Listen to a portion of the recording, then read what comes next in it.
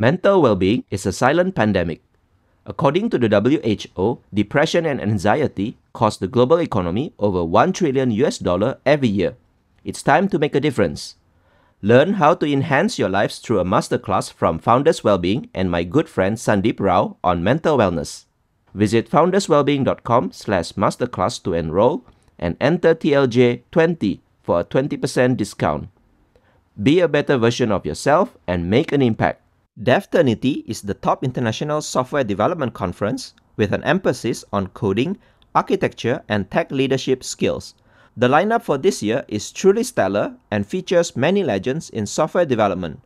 Names such as Robert Uncle Bob Martin, Kent Beck, Scott Hanselman, Venkat Subramaniam, Kevlin Henney, Allen Holub, Mary Poppendieck, and many other prominent names, including some of those who have also appeared in this podcast before. The conference takes place online, so you can enjoy it from the comfort of your couch. We spoke to the Devternity organizers, and I'm happy to share that TechLead Journal has got the 10% discount code for you. Enter the promo code AWSM underscore TLJ when you purchase the ticket on devternity.com. Here's the promo code one more time AWSM underscore TLJ. Depending on the time when you purchase the ticket, Early price is still available. See you there. For every one strength a person has, they have 1,000 weaknesses. So one strength over a thousand weaknesses. And so his comment was the most responsible thing a human can do, either personally for their own development or the development of others, is play to a person's strengths. In their entire lifetime, they could never solve their weaknesses.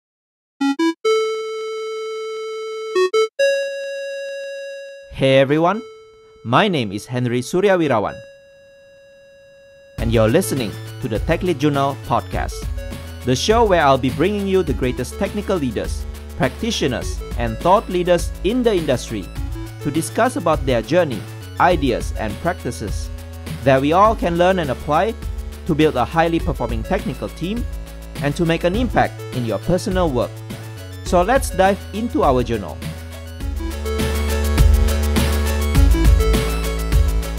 Hello to all of you, my friends and my listeners. Welcome to the TechLead Journal podcast, the show where you can learn about technical leadership and excellence from my conversations with great thought leaders in the tech industry. And today is the episode number 109. If this is your first time listening to TechLead Journal, subscribe and follow the show on your podcast app and on LinkedIn, Twitter, and Instagram. And if you'd like to support my journey creating this podcast, subscribe as a patron at techleadjournal.dev slash patron. My guest for today's episode is Brandon Miller. Brandon is the founder and CEO of 34 Strong and one of the first seven certified Gallup Clifton StrengthsFinder coaches in the world. In this episode, we discussed Clifton StrengthsFinder, also known as Clifton Strengths. Brandon introduced what Clifton Strengths is and why it is important for us to recognize and focus on our strengths. He also shared when leaders apply a strengths based approach at work, it leads to a much increased workplace engagement. Brandon then gave a walkthrough on how we can identify our strengths by taking the Clifton Strengths Assessment and what we should do after we find out our strengths. Brandon also spent some time to discuss my top three strengths and explained the idea of complementary partnerships. Towards the end, Brandon gave some tips for parents on how we can identify and nurture children's core strengths since their childhood. I hope you enjoy my conversation with Brandon, learning about the importance of identifying our strengths and why we should apply the strengths based approach in leadership. If you do enjoy this episode, will you help share it with your friends and colleagues who can also benefit from listening to this episode? It is my ultimate mission to spread this podcast and the knowledge to more listeners, and I appreciate your support in any way towards fulfilling my mission. Before we continue to the conversation, let's hear some words from our sponsors. The iSAQB Software Architecture Gathering is the international conference highlight for all those working on solution structures in IT projects, primarily software architects, developers, and professionals in quality assurance, but also system analysts who want to communicate better with their developers. A selection of well known international speakers will share their practical knowledge on the most important topics in the state of the art software architecture. The conference takes place online from November 14 to 17 and we have a 15% discount code for you. enter TLJ underscore MP underscore 15 for 15% discount. Today's episode is proudly sponsored by Skills Matter, the global community and events platform with more than 100,000 software professionals. Here, members can organize their learning experiences around the technology topics they care about most. You get on demand access to their latest content, thought leadership insights, as well as the exciting schedule of tech events running across all time zones. So, whether DevOps or data science is your buzz, or you're a fan of functional programming or all things cloud, you can make real connections with people who share your interests. Head on over to skillsmatter.com to become part of the tech community that matters most to you. It's free to join, and you will find it easy to keep up with the latest tech trends. Hello, everyone. Welcome back to another new episode of the Tech Lead Journal podcast. Today, I have with me a guest named Brandon Miller. Fun fact Brandon is actually one of the first seven certified Gallup Clifton Strengths Finder coach in the world. This is probably one of those people who you would see pretty rare because Strengths Finder has been around for quite some time and he's like the first seven certified Strengths Finder coaches in the world. He's now the CEO of 34 Strong, a coaching and consulting firm dedicated to improving employee engagement based on StrengthsFinder. He has lots of experience providing specialized leadership training, coaching, advising, and facilitating. So today I'm really happy to talk to you, Brandon, to discuss about StrengthsFinder, how is it relevant for leadership, and how we can grow from knowing about StrengthsFinder. So welcome to the show. Thank you, Henry. It's great to be here today. So, Brandon, I'd like to always start with my guests to invite them to share their journey, their career highlights, or any turning points, anything that you think would be interesting for listeners to learn from you. Sure. Some of your listeners might be interested to know that entrepreneurs, so those of us who enjoy the challenge of starting something from the beginning, often first begin our careers working for others. Inside of us lives a dream or a passion to have the independence, have the opportunity to build our own brand, our own company. And some of us do venture out and may not have the best success. That was me multiple times. And then what I found in my career, Henry, is I just stayed with it. I just stayed with it. Even when a venture didn't go the way I had hoped, I could see out there an opportunity and decided to continue to work there.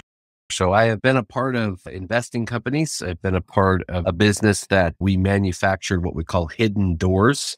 So these were bookshelves that were made to look like a normal bookshelf, but they open like a secret passage, like what you'd see in the movies. So we made those.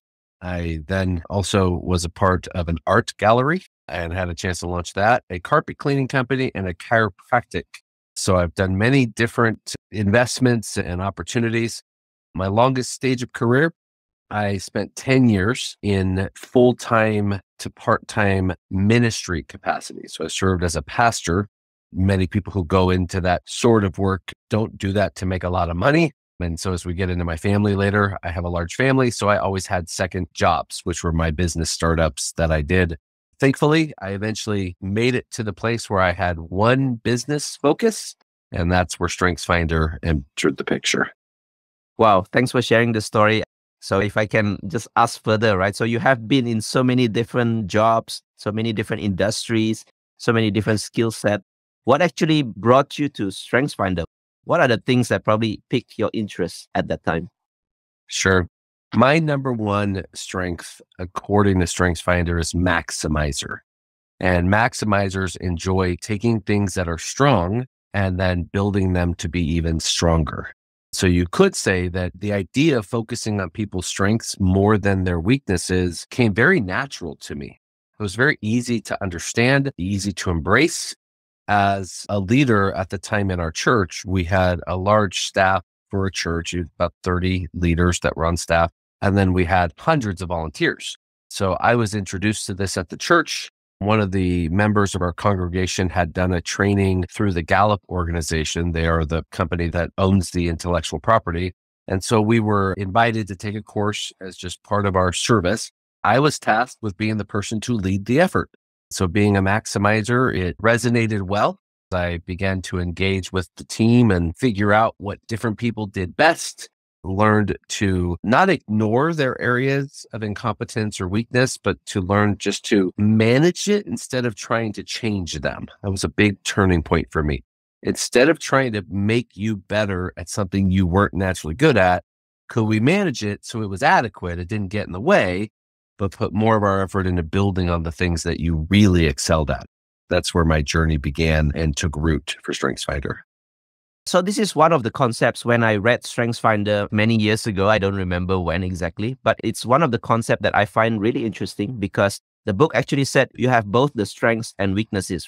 Many people, since we are children, we are being taught that we should also focus a lot on improving our weaknesses. But the book actually said that instead of doing that, actually you should put more focus on your strengths and try to manage your weaknesses so that they don't get in the way, like what you said. So tell us more about this concept of Strengths Finder. So for people who haven't heard about it, right? Why is it so important to focus a lot more on your strengths versus your weaknesses? I'm going to take us through Dr. Donald Clifton, the founder of Strengths Finder, and he had many partners around the world. Dr. Donald Clifton, over the course of a few decades, 30 years, he was drawn to study human excellence. He wanted to understand what was it about really successful people. He picked many different walks of life, many different careers, and he wanted to know why is it that some people could really excel and not just excel once or twice, but sustain excellence and why many more people seem to just live in mediocrity in that space. Through his journey, what he discovered is that the people who really were in touch, they had high self awareness, they knew who they were, and they knew who they were not, meaning they knew their strengths and they knew their non strengths. And they were comfortable with both without judgment, but they put more effort into being the best that they could according to their strengths. So, what he called this was the strengths based approach to development, simply a shift in time. Most of us who were taught the conventional approach to human development were taught to put more time into our areas of weakness or inadequacy. His question was, well, what if we just flipped it? What if we put more time into our strengths? And the two places, Henry, where he saw this very natural, again and again practiced, were athletics and in performing arts. So when a player would come into either of those scenes, the instructor or coach would determine their skill set and almost without a doubt, without fail, position them to do what they do best. So as he observed this, his question became, and I'll tell you one of his famous interviews that occurred. It was in 1984, and it was the table tennis team picked to win the gold medal in the Olympics in Los Angeles. The team from China had an athlete that was renowned, an amazing athlete, but he was renowned for not having a good backhand. He could not hit a good backhand. So, any of us who play table tennis or tennis know without a backhand, you have a serious deficiency. Very likely you won't be successful. So an interview was conducted that Dr. Clifton was a part of where they asked the coach, So what is it that you do with your very best player who doesn't play well from his backhand? He said, That's easy. We spend eight hours a day focusing on his forehand to make it the most lethal, very best in the world.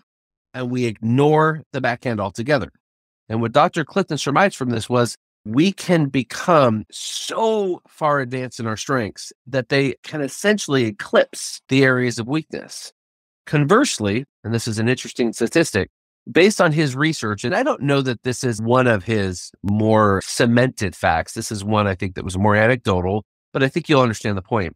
He said that for every one strength a person has, they have 1,000 weaknesses. So one strength over a thousand weaknesses. And so his comment was the most responsible thing a human can do, either personally for their own development or the development of others, is play to a person's strengths. In their entire lifetime, they could never solve their weaknesses. This is where we begin the journey with an organization or with a family or with an agency, a nonprofit to say, you only have so much time to develop people. That's the great equalizer. You only have so much time you may find that you will not only get better results focusing on their strengths, but then you'll have qualitative benefits, happier people, people that want to be better team members, people that treat customers better. So this is some of the beginning space of where we build on this concept. Wow, thanks for sharing this story. I haven't heard about this China Olympics athlete that had to train to focus more a lot on his strengths, which is the forehand. and can win the championship without the backhand, which is some people think, how could that be? 1984. It was 1984. The reference is a book titled Soar with Your Strengths. So the book Soar with Your Strengths is where this story is immortalized. Wow. Okay. I'll make sure to put that in the show notes. Which bring me to the next discussion, right? Because again, since we are children, we are being taught focus a lot more to improve your weaknesses. I mean, the idea is not so much to say that we should improve a lot on so many different areas, but it's to probably make us all rounder. So someone who can do many of the things. This is probably the reasons why many people, if you ask what are your strengths, not everyone can easily say just like you just now, right? I'm a maximizer. Not everyone could actually easily say that. But if you ask them about weaknesses, people can easily throw so many things. I'm bad at this, I'm bad at that. But to focus on the strengths, maybe some people need to find some time to actually summarize. Why do you think this is a big problem? What could people do to actually change that? Well, since you brought up the family, I'll mention this children who are taught to focus more on their strengths than on their weaknesses. We've seen three major advances. So, first of all, they can increase their confidence. When a child has high confidence, it permeates into their ability to make friends, their performance in their school, their ability to face difficulty, which all of us will face some difficulty in life. So it impacts resilience. Number two, we watch children increase in creativity. So their ability to approach complex problems and see alternatives instead of closed doors, they find open doors. With that creativity, it expands learning. So it opens up opportunity for increased learning and increased space for them to really develop a very full and healthy brain. Third, we see competence. When we study brain science, when we lean into what is called the old brain, our limbic system, this is the part of our brain that's reactive. So it's fight, flight, or freeze, as compared to our new brain, the prefrontal cortex, where this is where we have wisdom and logic and a depth of knowledge. It's our sage brain, our deepest intelligence. Well, in a space where a child feels confident and they're creative, then their competence goes up. They can learn more. They can experience more. They're not capped by fear. They're not capped by insecurity and doubt. Dr. Clifton was very passionate, even more so than Gallup's work in the business world. And they do extensive work with very large companies around the world he was very interested in parenting and education because if a child at a young age could learn to build on their strengths, his reasoning is that person into their career, into their family, into their future would be much more successful. And this is interesting, much happier in life, much more fulfilled, higher well being. And so I think this is important. And I'll give you two primary statistics when we advance the children to their career years. Number one is this. Let's say that you and I were working together, Henry, and let's say that I was your manager. If I spent more time talking to you about your strengths and your weaknesses, you are six times more likely to be engaged on your job. So this means all that would connect to your productivity, your accuracy, your punctuality, your friendliness with our customers, with our team members, six times more likely. And because you're engaged, you're three times more likely to report having excellent quality of life. And this is Henry outside of work. This is your loved ones, places where you volunteer and your ability to get good rest and your health and fitness. And so this is where we believe at 34 Strong, I believe this personally with the work we do with families, that this approach can really not only positively affect positive change in workplaces, but it can affect positive change in a person's life. It can change their life because of how deep it will impact their psychology and eventually their physiology associated. Well, thanks for sharing that. Just to summarize, so you mentioned if we focus on strengths since we are young, there are three things that probably could increase because of that. So you have increased confidence, you have increased creativity, and ultimately increase in competence. And those will lead you to a happier and fulfilled life. So I think that's probably a message for all the listeners, right? So if you haven't known for the longest time your strengths, try to find some of those strengths. Maybe you can go through Strengths Finder or buy the book. There's a free test that you can go through online. You can probably start categorizing what are some of your strengths and start to build from there because the impact is so massive. And you mentioned the statistics in the workplace, where if the management focus on their direct report strengths, typically they will be more engaged in the work. Again, I've seen this traditionally. Many companies in the performance review, yes, they will talk about achievements and all that, but they will also try to focus on people's weaknesses. You are not good at this, and try to build action items toward those things. But again, coming back to this strengths finder concept, I think maybe that's not the right approach. So tell us more, maybe how can managers put more focus on the strengths so that people are more engaged and why people are more engaged specifically if we focus on their strengths? Sure. So I want to say this point salient to your comment. Management or whomever it is that you call your boss. Okay. So I'll use the example of you and I again. So let's say I was the boss and you and I will have a professional relationship because of this. The tone of that relationship, the posture, the effectiveness, I will set more of that tone than you will because I'm the boss. I am more responsible for the health of the relationship than you are because I'm usually paid more. I have increased responsibility and my job is to help you to perform or to get you to perform. So when a company focuses this way on helping their managers do this from a strengths approach, simply, Henry, by the fact that I'm going to talk to you when we meet. So by percentage, you're going to hear more about what you're doing well, the success you could build on, the opportunity to grow and to learn you're going to look forward to our talks more often than if by percentage it was, well, Henry, you need to work on this. And then you need to work on that. And that's almost okay. But now you need to do this. Those conversations, it would be as simple as I send you an email. Please go on to the platform. We're going to have a meeting.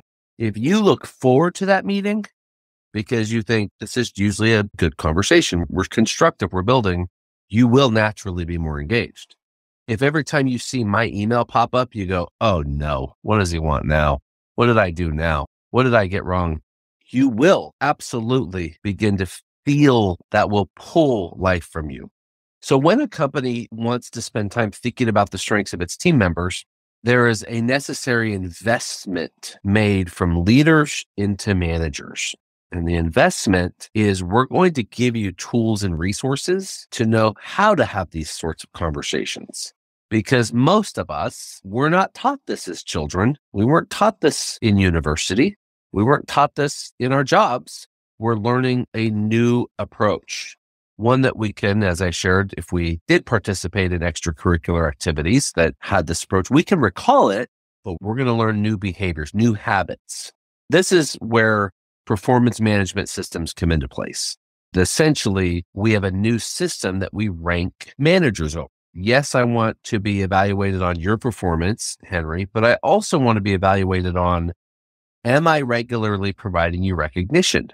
Meaning, do you feel I appreciate you? Do you feel I respect you? Do you think that I know you? Do you know that I care about you as a person?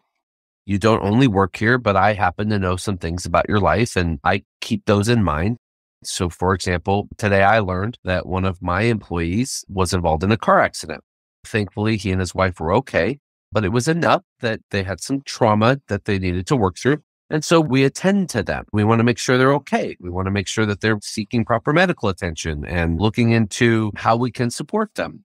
We would want this in this sort of relationship that's healthy in a strengths approach. So when managers are taught, we find that the more resourced we can help them to be, meaning giving them practical tools and practical steps so that they can learn this, this is where we see success. This is where we see what we call a sustainable strengths approach, because now it's going to be part of the organization's standard operating procedures. I think if I'm not wrong, your place, 34 Strong, the, your company, also has won numerous Best Workplace Award. Can you share with us maybe some practical tips or practices that you did in your company so that people are engaged and they do their best work? So that your company also, as a result of that, becomes more successful. So maybe if you can share a little bit on that. Sure. Companies that are known as best places to work often also win awards for innovation. They win awards for growing fast. They win awards for places that succeed in accomplishing different contests, different exploits for us as a company, our most prestigious award and the ones that we are the most proud of are when we're recognized nationally here in the United States as a great place to work. To get there, though, because this is what we teach to other companies, we like to say we have to eat our own cooking. we can't just give you our great cooking. We have to eat our own cooking. So some of the ways that we do that, we have regular interactions with our team, our company. And in those regular interactions, we make sure that as a company, we are very clear on our company mission and our company vision and our company values. We reset these. We tell them again. For example, if a person in our company is unclear on where we're going, we want to make sure they know what our mission is and what their part is. That's one thing we do is connect to mission. Secondly, we teach coaching as a manager mindset. So a manager, when they see themselves more as the coach than the boss, they learn that relationship by nature is developmental in its focus. So my interest is in seeing you grow, seeing you learn. And it's the difference between a growth mindset as compared to a fixed mindset. A growth mindset is we both agree our objective is to help you to be successful in a fixed mindset, I just need you to do your job. I don't really care how you grow. I just need you to get it done, cause me as little problem as possible, and we will call this a somewhat healthy relationship. Well, growth mindset challenges that. It says, Henry has a future. Henry has aspirations and goals. How can I help him be successful in this job, but also prepare him for his next job, his next stage?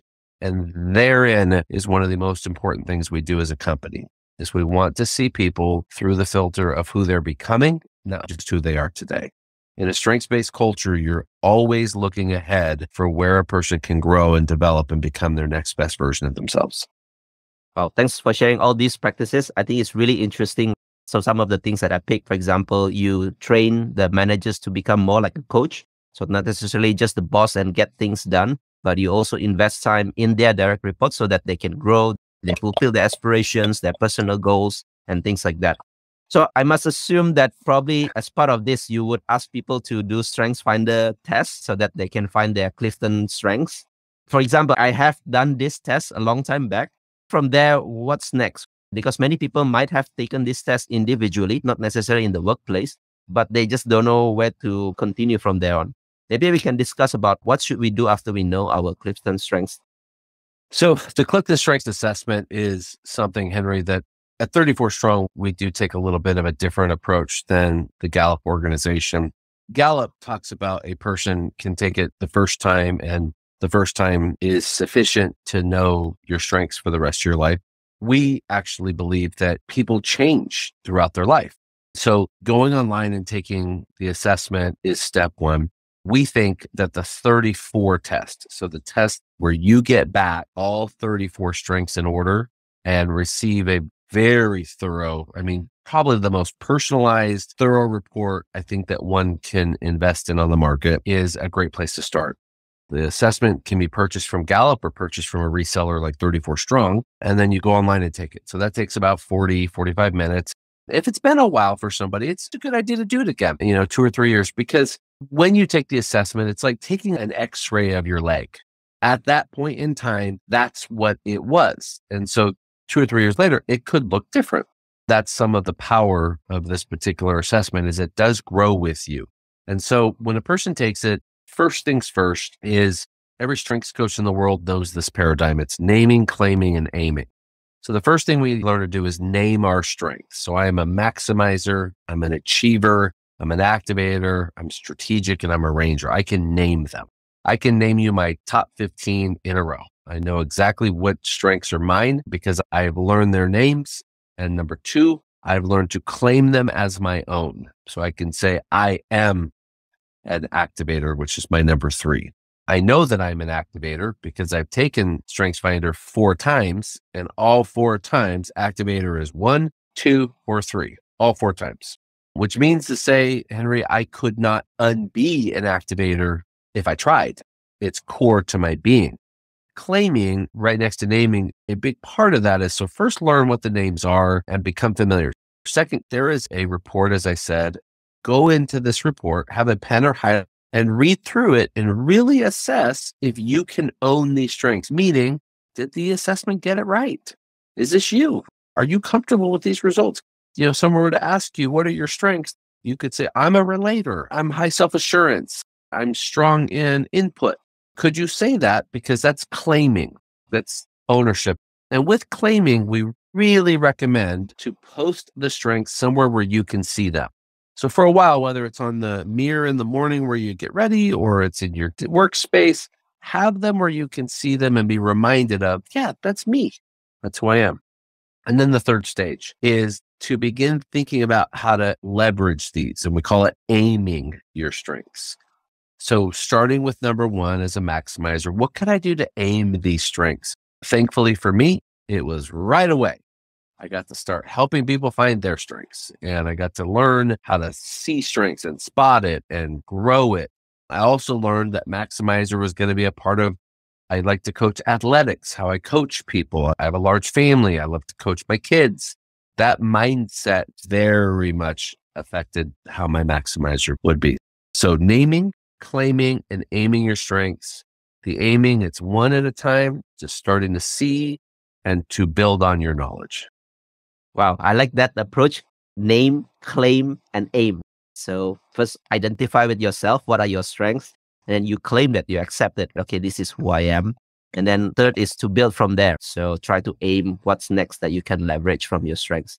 I myself, the top three of mine are achiever, learner, and deliberative. I have done this so many years ago. I guess I must have taken another one, maybe in these days, and see if they change or not. And I will say, Henry, for your listeners, for any that might be interested, they can reach out to us. I've done this for other leaders of podcasts that if they would like to reach out and request a code, we could provide them with one to learn complimentary as just a part of our time, you included. I will mention that your first two strengths, achiever and learner, are the two most common strengths in the world. So after 20 million people have completed Clifton Strengths in 60 countries and in 30 languages, number one and number two are achiever and learner, which is to say that your drive, your work ethic, your uh, endurance, your willingness to work hard until a job is done, which definitely is you have almost an inability to quit, meaning it's almost not possible for you to not continue even when it's hard because you have reserves of energy. And learner allows you to be deeply curious and to stay in a space where you know that the more you learn, the more there is to learn. So it keeps you in a space of curiosity and it keeps you in a space where you stay humble. Learners are some of the best team members, some of the most effective leaders because they lead with questions. They lead with a curiosity instead of a need to tell they want to ask and understand and appreciate very respectful strength. Now, your number three, deliberative. This is a fascinating strength. So it is actually one of the most rare strengths in the world. So this is a strength that very few people share in their top five. Deliberatives, what you enjoy is the opportunity to really carefully evaluate the decisions you make. So as a result, deliberatives are often very well trusted. There's an adage here in the United States, maybe you've heard this measure twice, cut once. So before you act, make sure you've thought through all of the ramifications. You've carefully considered the options. And then once you've established that this is the right course, now we move forward. Funny thing, my number three activator and your number three deliberative are opposite strengths. They're very opposite. So we would be good partners. You would be the voice of caution and reason and pause and let's think and process. I have a bit more of the I'll just take the risk. So my risk threshold might be higher, times where you might pause one second too long. I might have already been going, or times where I need to stop and listen to you. So they're very good. We call them complementary partners because those strengths can really work off of each other very well. So when you find these would be interesting for you to know, and this is a little bit advanced for your listeners of those three, when you think back about your life, could you see a tale where you were that person as far back as you can remember? So can you remember being that person who would strive to do really, really well with your achiever? The person who was very curious, asked a lot of questions, sometimes so many questions that people were like, Henry, enough too many questions. That would be your learner because you were curious, you wanted to know. Were you at times maybe a shy person? Deliberatives sometimes can be a little more introverted. but careful. You thought through. If you can see those back into your early childhood, those are what we would call your core strengths. Core means they are genetically coded. They're a very deep part of you. And so when you would retake an assessment like Clifton Strengths, it's very likely they'll stay not necessarily in the top five, they stay in the top 10 and they will group there. And so you would see them recur because you could identify them at that very strong level. Thank you for your assessment, a brief assessment, but really insightful and powerful to me. Thank you for noticing some of my strengths and how some of the things that I myself thinking back, I think, yes, I kind of like grow into all these strengths from my journey, from my childhood as well. And I think you mentioned one of the things that is interesting that we should discuss next. So this is like how you can use it in your workplace as well. So knowing people's strengths and actually try to see where you can synergize, right? The moment when you mentioned we could be good partners. So this is where you use the strengths based approach to actually form a team or make your team as best as they can perform. I read in another book of Clifton, Strengths Based Leadership, that effective leaders not just focus on people's strengths, but they also surround themselves with the right people and maximize their team based on the strengths. Tell us more about this approach because I don't think many managers put a lot of effort in building a formation that can complement them. Right. Worldwide, there is a conversation around inclusive leadership, being equity minded, making sure that people are feeling heard and appreciated, all kinds of ways that we can accomplish this.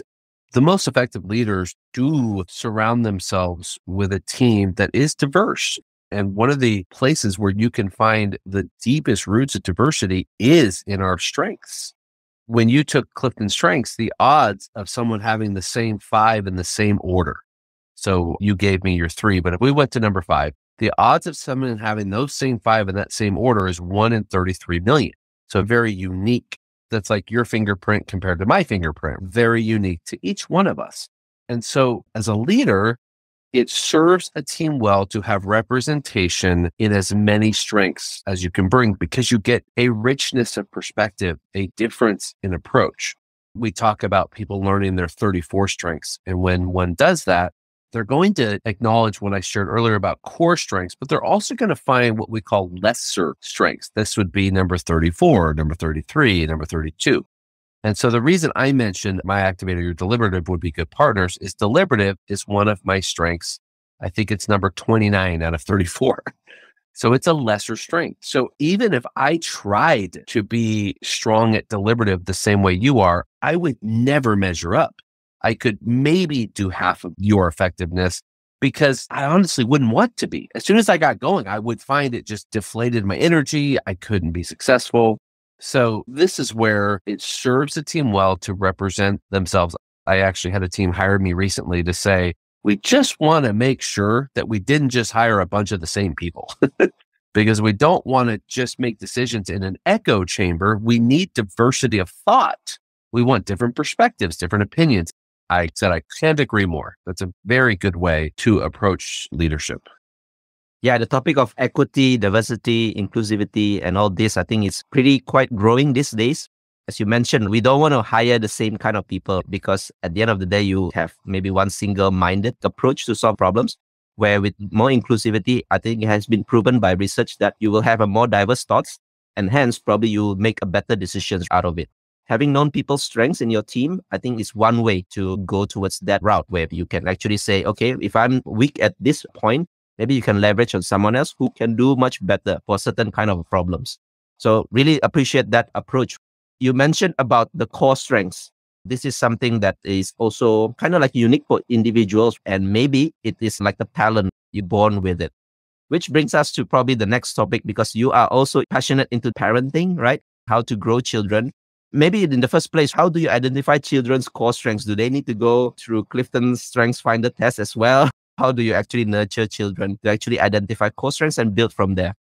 Yeah. So the first step with young children is what we call strength spotting. It's just learning to see them through the perspective that your children have emerging beautiful core strengths that are part of the transference of DNA, right? It's just part of who they're going to be.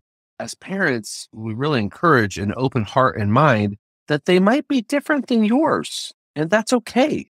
They're entitled to be different. They don't have to be the same, nor would it be even best case scenario for them to be a carbon copy. So strength spotting is learning to see strengths. And there's a couple clues. So first it's, we call it the enthusiasm clue. What activities are children drawn to? What seems to pique their interest? Where do they make time? And then second, of those activities, which ones just come really natural to them? Do they just seem to really enjoy the process? They seem to just pick up the steps fast. They seem to just really resonate with it. And then third, where do they seem to derive energy? And this is going to come in the form of their ability to keep going. So even when the puzzle gets hard or the game is boring, they'll finish it because it derives some level of energy to them. So those are three of the clues that a parent can use to start to see some of the core strengths. From there, what Gallup has done that's very nice is once a child crosses into early childhood education, by the time they reach about fourth or fifth grade, there is an assessment for kids. This is where it's called the Strengths Explorer. They can actually take an assessment and learn their core strengths. Yes, I think now that you say it, we should identify kids' enthusiasm, their natural ability, and where they derive the energy from. This is also very interesting because we can see kids with plenty of energy, but we can actually also tell there are some activities that they will not participate. They'll be cranky and things like that. So I think these are definitely a great clues. For me, I'm a parent myself of three kids. it's really hard to actually spot this naturally. And as parents, unfortunately, I have to say that we all tend to want our kids to behave or maybe to be a person where we think is best as a parents, we think they should be a doctor or whatever. I think, again, coming back to the strengths based approach, I think this is not effective. Even though the kids are all different, we should try to customize nurturing them differently. So, any tips around that? Because obviously, dealing with so many different styles of kids may not be handy. Maybe any parenting tips here that you can share? Yeah, the comment you just made, I think, is the most important, Henry, is your children, if you have more than one, as you do, are each very unique. If we can customize our parenting approach to recognize that there are certain things that would be the same, let's make sure they have the same nutrition and make sure they get rest and make sure they have opportunities. But when it comes to developing them as a person and their strengths and their personality and their interests, allow for diversity, allow for differences. Let them have room to explore we have children who enjoyed very different curricular activities. Two of them were very into music. I have two of them very much into American football. One that was very into football, global football, soccer, as we call it here. Another that was into horticulture. She loves plants, and that was her passion. And so supporting them in areas of interest and areas of study and areas of growth and allowing for, as they age, some autonomy to make some decisions and to get some things wrong and to get some things right and be there to support. Because what we have found is where we apply influence to our children is when we know that they are in an area of strength. We know that it's an opportunity for growth. This is where we put our strongest encouragement.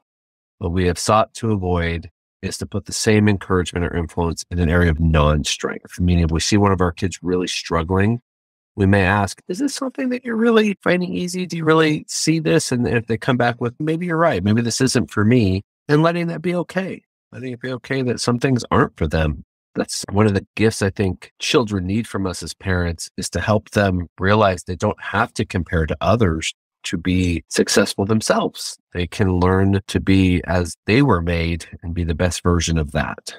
And that's good enough. Wow, really beautiful. Thanks for these parenting tips. I think we must put some of the show notes for your other parenting work because the importance of building strengths focused approach since children is really powerful because as you have said before, increase in creativity, increase in competencies and increase in, I think I forget the other one, but yeah, all this basically lead you towards a better fulfilled life, right? So people will get happier if they are nurtured right at the beginning when they are children. Because if you do it later, then it might be even more difficult because you need to undo some of the mindset that you grew into when you're kids. So thanks for sharing all these beautiful tips.